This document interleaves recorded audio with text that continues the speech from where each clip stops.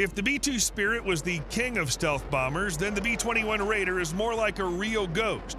Do you realize what this means? One that leaves nothing but a shadow in military reports.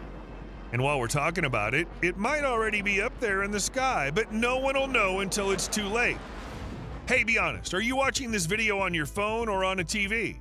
Because here's the thing 98% of people just scroll through videos, skipping the chance to be a part of something bigger. They hit watch next and stay trapped in the same content stream programmed by artificial intelligence. But you're not just a regular viewer, are you?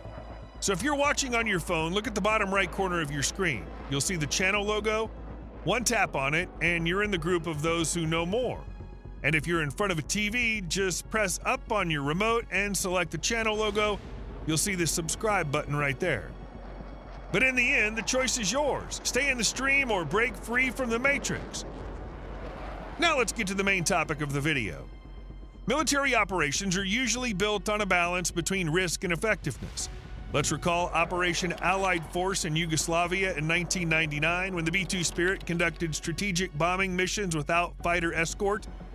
Its goal was to penetrate deep into enemy territory and deliver precision strikes on key infrastructure while bypassing what were then state of the art air defense systems. The B 2 successfully completed its mission, but it required extensive planning, mid air refueling, and lengthy ground maintenance after each flight. Had the B 21 Raider been available during that operation, the mission could have been significantly more efficient, faster, and safer.